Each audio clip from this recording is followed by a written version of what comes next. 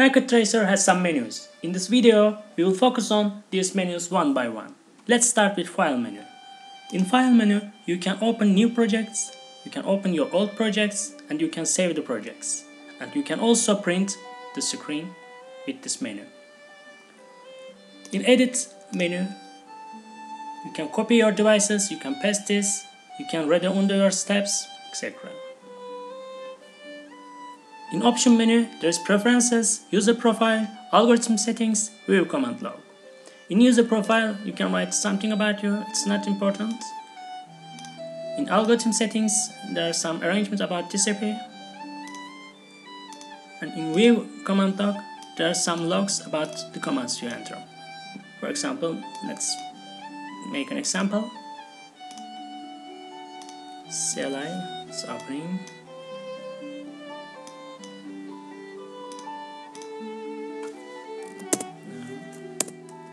when I say enable I'm enable mode and for example I think 10, 10, okay.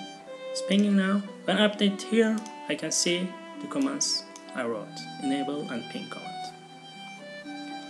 It's okay. In option fields the preferences is very important. Uh, with preferences you can arrange what you want to see on the screen. For example you can remove the model labels you can remove the name labels like this. And as you can see uh, on the router uh, it is also removed you can remove port numbers link lights etc here. In administrator menu you can give passwords and uh, you can arrange your uh, file locations. In hide button you can hide some tabs. In font tab you can arrange the fonts on the screen in miscellaneous parts, you can arrange something about simulations, and there custom interface tab and publisher tab. In the view menu, you can arrange zoom in, zoom out, and zoom reset parts. You can arrange toolbars if you want to remove any toolbars here, you can remove here. And tools, there's a drawing palette. You can draw a circle especially it is useful for uh, arranging domains or areas etc for example this is one area and uh, this is the other area. You can arrange a rectangular Iskambar autonomous system like this.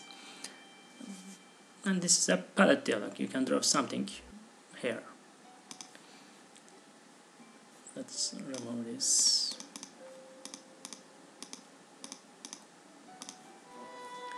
In tools menu there is custom device dialog and with this custom device dialog you can arrange a template device and you can use it in your following topologies.